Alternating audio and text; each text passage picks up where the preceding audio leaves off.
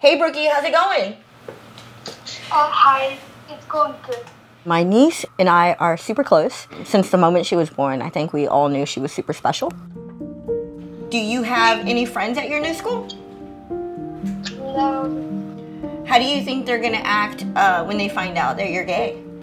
They're probably gonna be surprised. It's okay because they, it's not my opinion. It's really just theirs. Mm-hmm. I think it's really important that we not forget that we have to keep telling our story and we have to be able to help other people that aren't as brave as us because I wasn't as brave as you when I was your age.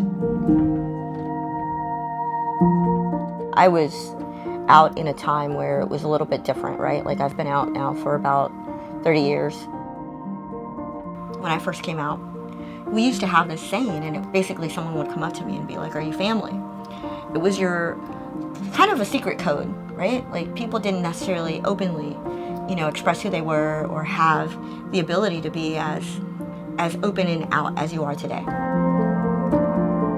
In terms of feeling safe, the place I felt the most safe was around my family, with people that loved me and cared about me. Love you. Love you too.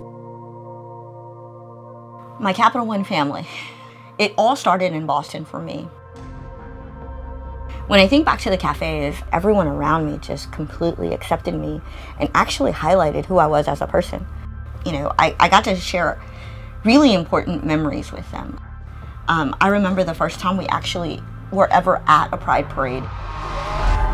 Everyone wanted to be a part of it. And it was super special that so many people were asking what they could do to support that process. I can't imagine being fortunate enough to have that as my family, but then it just continued to grow. So I currently live in Annapolis, Maryland. Uh, my wife and I just purchased uh, our forever home. And I just became a part of our card tech team, whether it be in home office, in a Boston cafe, in a branch here in DC. I feel like I'm surrounded by people that love and care about me. I have so much more pride in what I do. I recently had an ambassador come out to me in my office at work. And it was one of those moments where you have to kind of take a, a deep breath and, and, be thankful that you're present in that moment um, because of the history. Everything that I do, I think back to, you know, the struggles that have happened before me, where there are people that marched at Stonewall, where up until recently, like, we didn't even have the right to marry.